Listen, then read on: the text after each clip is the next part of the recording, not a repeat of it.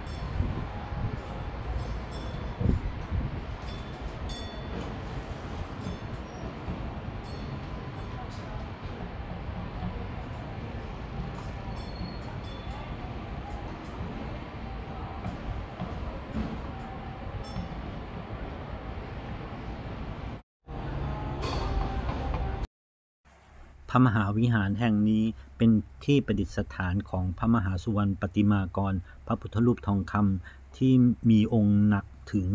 5.5 ตัน เฉพาะมูลค่าทองคำอยู่ที่ประมาณ 28.5 ล้านปอนด์ como que allá está muy, muy bien implementado que los aviones tengan aire acondicionado. สั่นมหัศจรรย์และเห็นที่อยู่อันนี้เขามีให้สองกันของเออสั่นมหัศจรรย์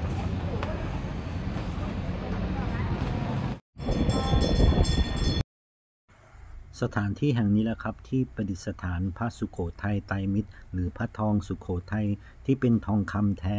หนักที่สุดในโลก